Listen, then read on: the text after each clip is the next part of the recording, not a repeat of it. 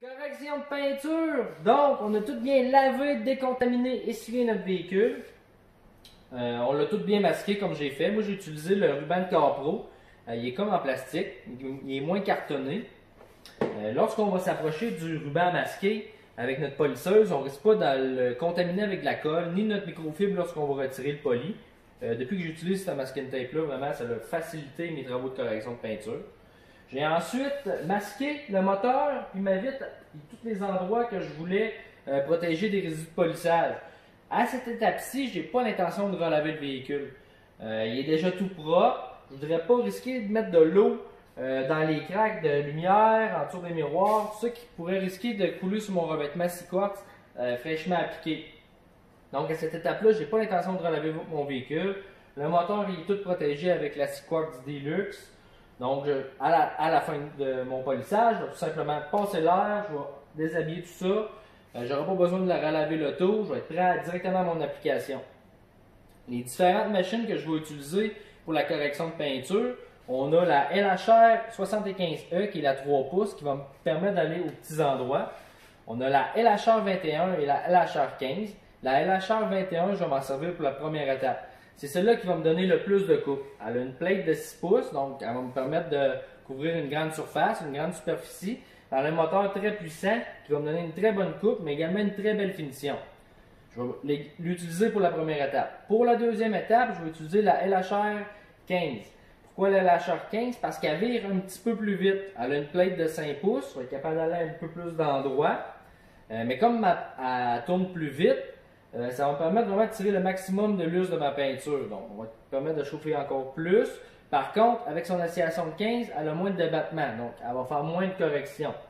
Euh, lorsqu'on veut opter pour une machine, je recommande la LHR 15 parce que tu vas pouvoir aller à plus d'endroits étant donné qu'elle a une backing plate plus petite.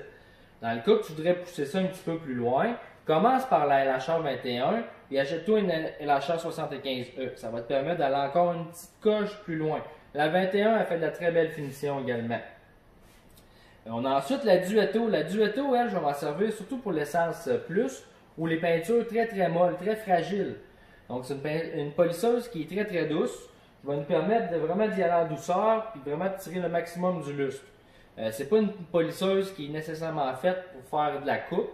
Elle peut en faire, par contre, ça va être un petit peu plus long que si on utilise euh, la LHR 21 ou la LHR 15. Ensuite, on a la Flex à batterie. Euh, j'ai acheté ça dernièrement pour euh, faire un test. Au début, j'étais un petit peu déçu parce qu'elle n'a pas beaucoup d'RPM. Euh, vraiment, là, c'est très, très, très, très, très léger. Par contre, elle est très douce. Donc, elle va vraiment me procurer le même fini que la Duetto sans le fil. Elle va me permettre vraiment de faire de la finition ou de travailler sur des peintures un petit peu plus douces. c'est une très bonne machine. La conception est très bien faite.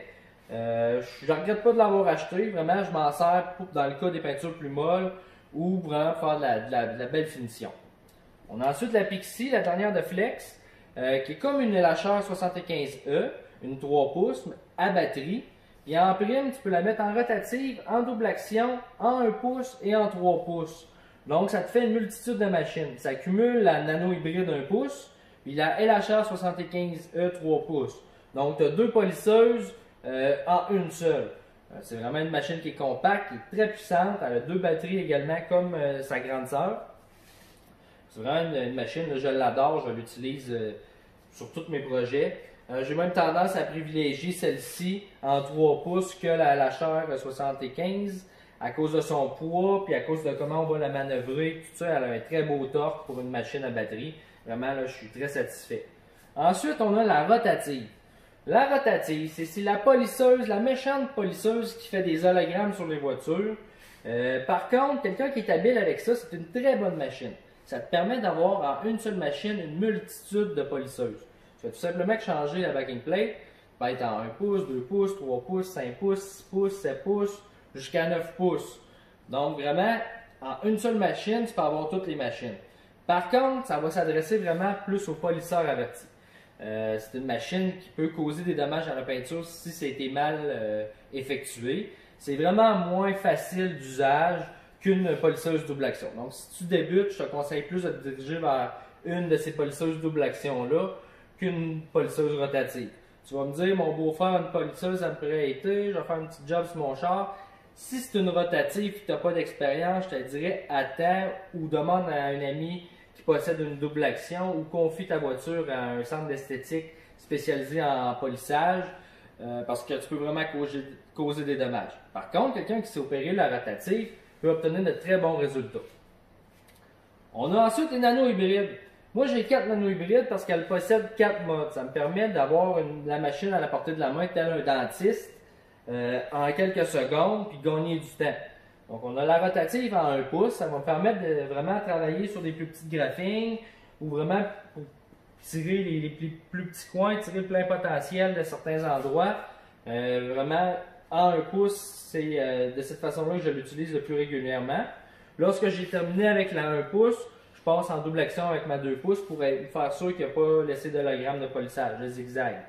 Donc, euh, ça va vraiment nous permettre de faire les miroirs, les montants, les pilars noirs. Ça va être en 1 pouce ou en 2 pouces, dépendamment de la, la largeur du pilar. Donc, sinon, c'est ça. On l'a en deux pouces, en rotative ou en double action. Donc, ça fait vraiment, là, euh, ça nous permet de pousser ça au maximum. Ça nous permet de polir des roues, polir des grilles, comme polir les petits grillages là-dessus. Ça nous nécessite une petite polisseuse. On peut polir avec la 6 pouces sur une petite moulure comme ça. Par contre, reste pas là trop longtemps, tu vas défoncer la peinture. Si ta polisseuse, elle rentre 1.5 fois sur la surface, moi, c'est ce que j'explique dans nos formations. Euh, lorsque la polisseuse rentre 1.5 fois euh, sur la surface, tu vas être capable de tirer une belle finition, tu vas être capable d'avoir une belle coupe. À l'inverse, si ta polisseuse, euh, la surface, elle rentre 10 fois sur la, surface, ben là, watch-toi. Pour faire de la coupe, ça peut fonctionner, mais pour faire de la finition, tu vas avoir vraiment là, de la misère à tirer le plein potentiel, ça va toujours rester rough. Donc, c'est pour ça qu'ils ont inventé des plus petites machines. Ensuite, on a les différents pads euh, qu'on a disponibles dans notre boutique en ligne. En partant du plus abrasif, on a le pad Carpro de microfibre. Lui, c'est le plus abrasif de la gamme. On va l'utiliser avec le Clear Cut, le Fixture, qui sont les deux polis les plus coupants chez Carpro. Le Clear Cut, c'est le Heavy Cut. Le Fixture, c'est le Medium Cut. Donc, pour notre première étape, dans le cas d'une voiture endommagée ou qu'on veut vraiment retirer le maximum de défauts, euh, celui-là, ce pad-là, c'est un des plus abrasifs. On a ensuite le Maguire, qui est une petite coche de moins, mais qui est le pad le plus apprécié parmi tous les détailers professionnels sur la planète. Euh, c'est un pad qui est très versatile, qui va te donner une excellente coupe, une très très belle finition. Euh, on peut facilement réaliser des one-step avec ce pad-là. On va l'utiliser avec le clear cut, avec le fixture, puis à l'occasion sur des peintures un petit peu plus molles, mais très endommagées, le reflect. Donc, c'est vraiment un pad très versatile. On a ensuite un petit peu moins coupant. Euh, on va l'utiliser également Clear Cut, Fixture ou à l'occasion avec le Reflect. L'orange de Capro qui est en forme. Euh, ça va vraiment nous permettre de retirer là, les imperfections euh, un petit peu plus modérées. Donc, si on veut vraiment faire de la grosse coupe, on va y aller au microfibre. Sinon, on va y aller avec le pad orange. Un petit peu moins abrasif, mais très versatile le rupage jaune qu'on va utiliser avec le click cut, le fixture, le reflect ou l'essence. Donc c'est vraiment le, pad le plus versatile, il va nous donner une très bonne coupe et une très belle finition. Dans les pads de finition, euh, on a le Rupage blanc qui est un petit peu plus ferme que le gloss pad, donc il va corriger un petit peu plus que le gloss pad. Le gloss pad est un petit peu plus doux. Lui, on va l'utiliser avec le reflect ou avec l'essence. Lorsqu'on va utiliser des on va effectuer, pardonnez-moi, euh, des travaux de correction de peinture. Euh, on va d'abord évaluer la surface sur laquelle on travaille. Pour ça, on devra avoir une bonne lumière, euh, style scan grip ou autre. L'important que ce soit une lumière LED ronde. Donc, pour vraiment voir les défauts dans la peinture. Moi, ici en atelier, j'en utilise plusieurs. J'ai la Sun Match, j'ai la Scan Grip Air, qui est une, petite lampe très polyvalente, très performante à batterie. J'ai un vieux modèle de ScanGrip 3, je suis plus très certain. C'est un vieux modèle qui est discontinué. J'ai la plus récente qui est Bluetooth, euh, là, la Multimatch 3. Puis j'ai deux autres euh, ScanGrip R. J'ai également euh, la frontale qui va me permettre, là, quand je vais détailer à l'intérieur du véhicule ou des fosselles ou des endroits moins éclairés, je vais mettre ça dans le front. On va voir tout ce que je fais. Donc, c'est vraiment là, la première étape, c'est de déceler les, imperfections. On va-tu procéder en une étape, deux étapes, trois étapes? Euh, on a une voiture neuve, une voiture usagée? Comment qu'on l'aperçoit? Puis où est-ce qu'on veut l'emmener? Donc, lorsqu'on va effectuer des travaux de correction de peinture, ça va être important de bien déceler ça pour choisir le bon poli et le bon pad. Donc, c'est une voiture neuve, on peut tout simplement faire une étape. C'est une voiture plus endommagée, on va travailler avec deux étapes ou trois étapes dans le cas des peintures vraiment très, très endommagées. Lorsque tu veux effectuer des travaux d'application d'un revêtement C-Quartz, moi, je te recommande de fonctionner Clear Cut euh, Reflect ou Fixture Reflect. Ça va te permettre vraiment d'avoir une surface qui va être euh, exemple de graisse ou de filler ou de remplissant ou d'agent SiO2 ou quoi que ce soit. Quand tu vas avoir terminé, tu vas prendre le razor, tu vas vaporiser sur la surface à l'aide de ta microfibre double phase de Capro, qui est sans étiquette, sans bordure, qui possède un antistatique, qui est très douce. On est à la dernière étape, on ne veut pas endommager la peinture. Donc avec cette microfibre-là, on n'a aucun danger euh, de l'endommager juste avant l'application de notre revêtement. Donc on, a fait le réseau deux fois, on a passé l'air partout, on a tout bien démasqué, on va pouvoir procéder à l'application de notre céramique coating.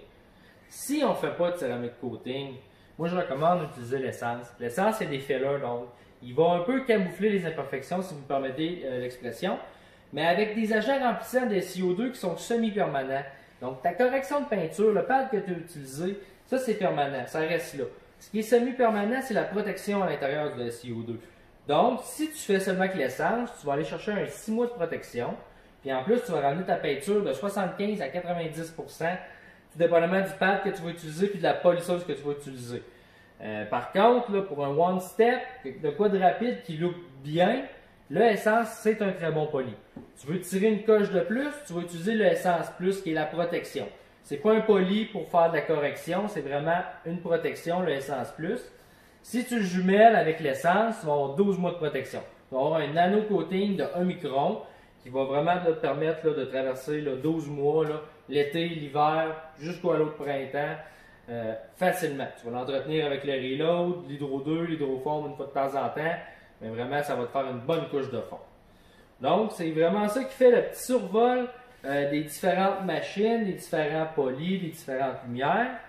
Euh, ouais, lorsque tu veux euh, nettoyer tes pads, ça revient souvent à cette question-là. Donc, tu peux soit utiliser une petite brosse euh, de nylon comme ça, tu mets ta, machine à on, tu la fais virer tranquillement, tu brosses le pad doucement. Ou, si tu un compresseur, je te recommande le Tornado Blowout Gun. Donc, entre chaque passe, tu vas tout simplement passer l'air, remettre du poli, puis tu vas pouvoir continuer. Le poli, la première fois qu'on va utiliser le pad, on va en mettre un petit peu plus, on pourrait dire 5 ou 6 gouttes. On va faire une petite section. That's it. Ensuite, là, on va pouvoir euh, remettre 2-3 gouttes, puis commencer vraiment notre polissage. Euh, lorsqu'on va avoir euh, effectué peut-être 1 ou 2, 3 minutes de polissage, on pourra remettre une ou deux gouttes, passer l'air, mettre une ou deux gouttes, ensuite continuer notre panneau. Lorsqu'on a terminé notre panneau, on peut tout simplement essuyer avec la microfibre. On peut utiliser également le razor pour faire sûr euh, qu'il n'y a plus de résidus. Puis en même temps, ça va nous rajouter la propriété antistatique. Donc la poussière va coller moins sur les panneaux que tu as déjà travaillé. Quand tu vas avoir terminé, ça va être plus facile à retirer. Donc c'est vraiment un petit survol aujourd'hui euh, sur les différentes machines. On avait beaucoup de questions. Quelle je devrais m'acheter? C'est quoi la différence entre la LHR 21 la LHR 15? Donc c'est une plate de 6 pouces, une plate de 5 pouces. Euh, leur oscillation est différente, donc 15 mm, 21 mm. Plus d'RPM, plus de torque. Donc, ça dépend de ce qu'on veut faire euh, de nos besoins. Lorsqu'on achète euh, la 21, je recommande d'avoir au minimum une nano ou une LHR 75 de 3 pouces pour couvrir une plus grande surface. Si tu veux seulement qu'une machine, ben la 60, la LHR 15, excusez-moi, va te donner une très bonne coupe aussi. Là. Euh, c'est une très bonne machine pour n'avoir seulement qu'une. C'est celle-là que je te conseille. Euh, dans le cas que tu ne veux pas t'embarquer trop dans de la grosse correction, tu veux faire plus comme de la cire, euh, de l'essence, de l'essence plus, tu peux utiliser seulement que la duetto. donc, je pense que ça fait un beau survol. Dans la prochaine vidéo, on va vraiment voir comment bien utiliser chaque pad, les polis sur l'auto, voir les différents défauts qu'on doit retirer. Donc, je crois que Juste avec ça, au moins, vous savez un peu plus comment vous enligner avec votre projet de correction. Euh, moi, je vais m'installer, je vais me préparer à vous tourner le prochain vidéo de la correction. Je vais vous montrer comment j'opère chaque machine, euh, la pression que je mets, euh, comment que je vais vraiment mettre de poli. Vous allez me voir plus travailler, plus à l'action. Aujourd'hui, c'est plus une vidéo explicatif pour pas faire ça trop long sur les différentes machines, sur les différents pads, les différents polis disponibles en atelier. Donc, j'espère que ça vous a plu. On se revoit pour le prochain vidéo qui va être la correction de peinture. Tant attendu.